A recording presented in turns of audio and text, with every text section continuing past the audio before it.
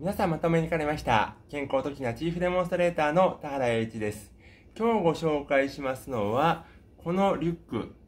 タムラックのトレードウィンドバックパック18をご紹介いたします。このタムラックのトレードウィンドシリーズは、このダークグレーの色合いが特徴の、まあ、軽量バッグのシリーズで、バックパック型とショルダーバッグ型、そしてズームパック型といろんなバリエーションが用意されています。タムラックはこのデイパック型といいますか、2気室式ですね。機材室があって、はい、ここが機材室なんですよ。機材室があって、そして、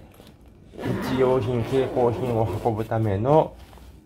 別に上にスペースがあるという2気室式のタイプというのはだいぶ前からやってまして、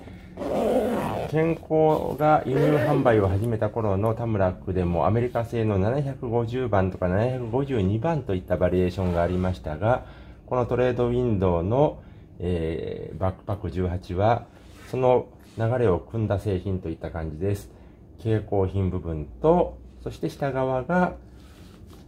カメラ機材を入れるスペースといったところですね。で、従来のタイプは、ここの開き方が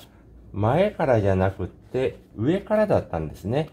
この上の部分が中折れして、ここ上から入れる形だったので、どうしても背中のクッションを厚くできなかったといった問題があります。ところが、このトレードウィンドウの18、バックパック18では、前から入れていくというスタイルを取ったので、今、ニコンの D850 を入れようとしていますが、まあ、ちょっと想定されている機材よりも大きい感じではありますが、このように入りますし、あと、ここのスペースの、え仕切りを外して調整をすれば、フラッシュ、どうでしょう。ちょっと苦しい感じもありますが、入りますね。フラッシュを入れてもう一本レンズが入るかなといった感じで物を入れていくことができますね。で、よく確認しますとね、やはりこの厚みの作り方がうまいんですね。この丸い形状にしているので、機材質のところが深くなっています。そこで結構、まあ、単焦点レンズなんかだと、こう上からレンズ面を上の方に、まあ、あの前面に持ってくる形で入れれば、一本そのまま入りそうな感じもしますね。そして上半分はクッションが入っていない蛍光品スペースなんですが、まあ、この内側にはポケットなどがない非常にシンプルなスタイルをしていますけども、ここに、えーファスナーがありまして、ここを開くと、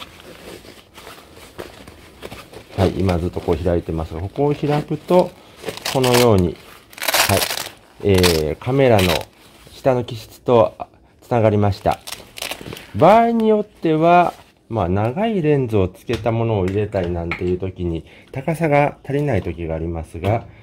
こうやってしまえば、十分な高さが確保できると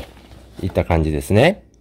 背面が中折れしないので、まあ、このパッドがしっかりしてるという感じもありますが、それ以前にここにもう一つスペースがありますね。ここを開けますと、実はタブレットなどを入れるスペースということで、まあ、これがあるから中折れしないということもあるんですが、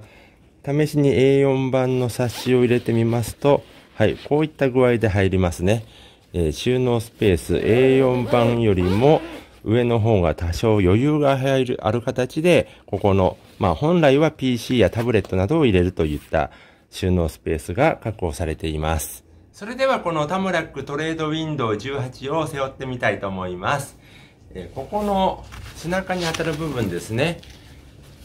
メッシュが貼ったパッドが1、2、3面ありまして、ここに空気抜きのためのスペースが開けてあります。そういったこともあって、薄着で背負っても背中に空気が抜けて蒸れないといったことが考えられています。チェストベルトやウエストベルト等は特に考えられていません。まあ、このトレードウィンドウバックパック18自体が、まあ、この自重が 700g で中に入る機材も軽量機材を想定しているのでそれほど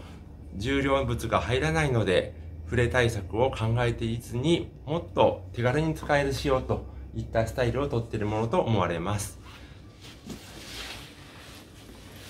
まあ、非常に持った感じはしっかりしてるんですが軽いといったところが特徴かと思います。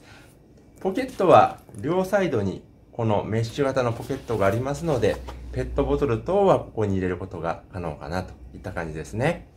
タムラックのトレードウィンドウ18。まあ、見た目はタムラックをあまり主張しない、まあ、シックなデザインといったところです。ただ、デザインが非常に工夫されているのが、上に行けば行くほど丸く細くなっているんですが、カメラが入るスペースは前後方向しっかり確保されているということですね。意外としっかり機材が入るといった印象がしました。タムラックのトレードウィンドウ18、ぜひ手に取ってご検討ください。